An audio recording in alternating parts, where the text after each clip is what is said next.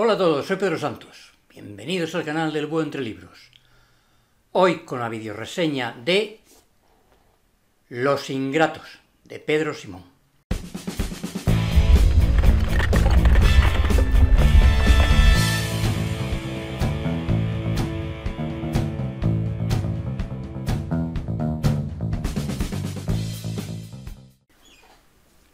Eh, soy muy consciente de que cuando hago una reseña de un autor desconocido, yo no sabía nada de Pedro Simón, pues tiene menos visitas. Y sin embargo, quiero hacerla, porque esta es una de las novelas que va a estar sin duda entre las mejores que he leído este año. Es una opinión mía, pero es una opinión que comparto con bastante más gente. Con este autor, un encuentro en el Club de Lectura Locura de Libros. No pude estar, es una pena, pero os dejo de todas maneras el enlace para que podáis ver el encuentro, las preguntas eh, que le hicieron al autor y todos coincidieron que había sido para ellos y ellas una lectura muy emotiva. De hecho, muchas de las mujeres del grupo manifestaron que había llorado. No es mi caso, pero sí os confirmo que es una novela muy emotiva. Por eso hoy os traigo la reseña de Los Ingratos, de Pedro Simón. Premio Primavera de Novela 2021. Los premios Primavera a mí normalmente me gustan mucho, que hay excepciones. Suelen ser autores para mí desconocidos, también hay excepciones, pero en general me encantan, suelen ser muy buenas. Por eso os traigo también hoy esta novela. El autor decía que es una novela para lectores de 40 a 60 años fundamentalmente. Y justamente el grupo mayoritario de seguidores de Buitos de este canal estáis en esa edad. Por supuesto, hay de todas las edades. Pero es que este libro también va dedicado, y puede ser muy emotivo, para gente que no tenga esas edades. ¿Por qué? Porque esta es una novela que él recomendaba para gente de esta edad, porque es la gente que mayoritariamente sus padres nacieron en el pueblo. Ellos han pasado muchos veranos en el pueblo.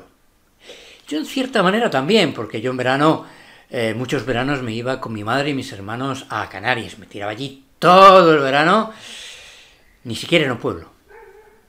Allí perdido, viendo la playa abajo, sí, pero hasta llegar a la playa había casi nueve kilómetros de curvas, con una libertad que no se tenía de otra manera. Pero también es verdad que hoy día hay mucha gente cuyos padres, cuyos abuelos, eh, tienen una urbanización cerca de las grandes capitales en las que pasa el verano. Y eso es como un pueblo.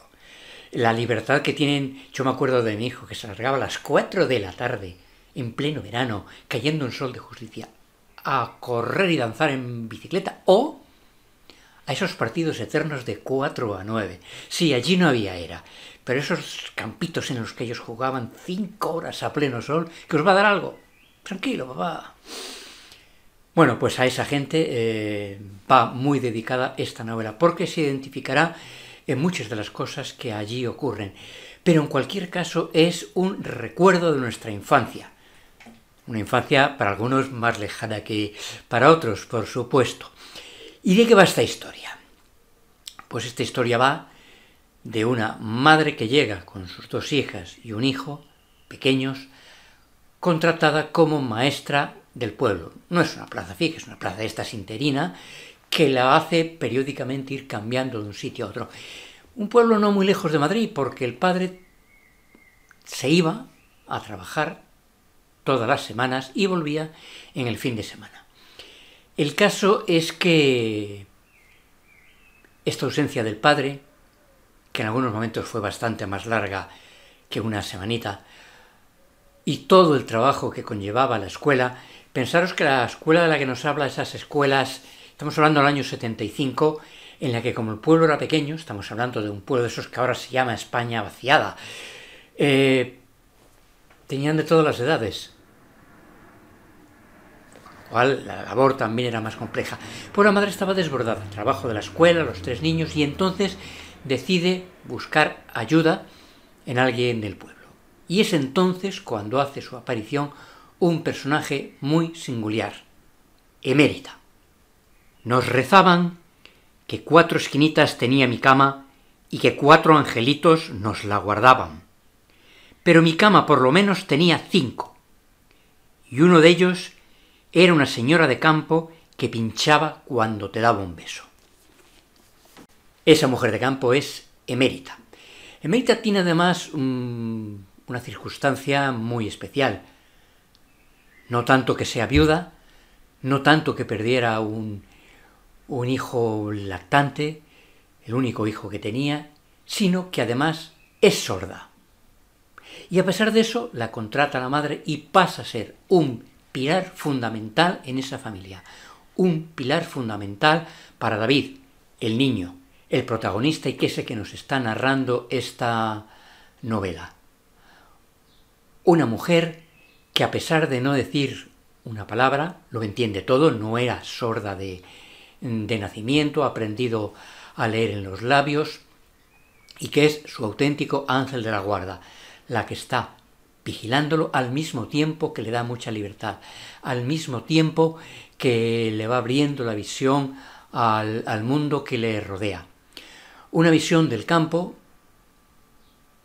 si queréis, eh, un tanto idílica, algo que ya he visto en alguna novela como El balcón de invierno que nos contraponía esa imagen del pueblo como algo, eh, como la libertad, como algo idílico, precioso, con la contraposición a que cuando uno llega a la gran ciudad, aquello queda como empequeñecido.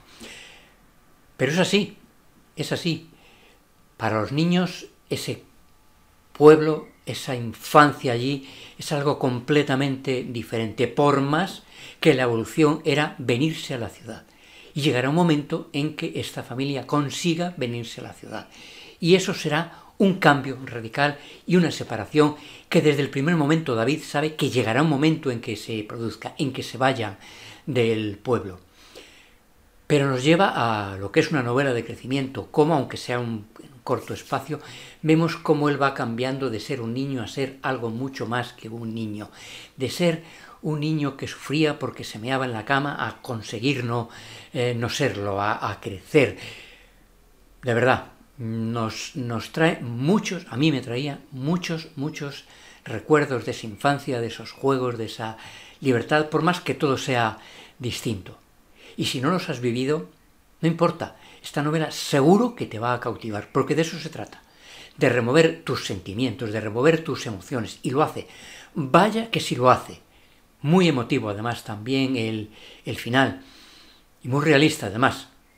Quizás por eso es tan emotivo, porque es la gran realidad de nuestras vidas, como a veces vamos dejando por el camino gente que en su día fue importantísima para nosotros y que ya no existe. Pues bueno, muchas gracias a todos por estar ahí y si tú no te quieres perder ninguno de los vídeos, ya sabes, suscríbete, da la campanita y nos vemos. Y si le das a me gusta también está muy bien, ¿eh?